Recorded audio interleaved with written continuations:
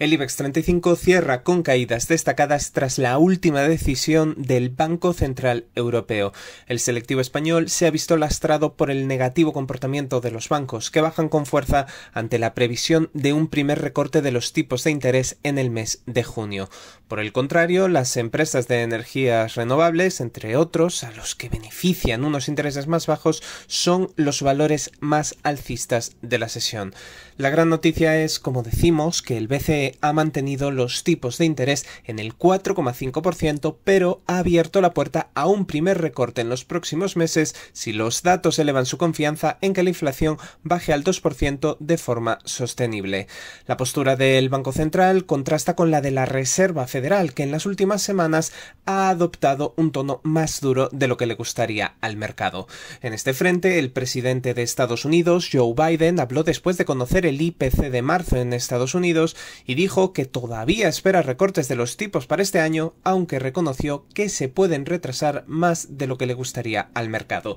En el plano empresarial, destacar que las aerolíneas se han visto penalizadas por la decisión de Lufthansa de suspender sus vuelos a Teherán, la capital de Irán, debido a la escalada de tensión en Oriente Próximo.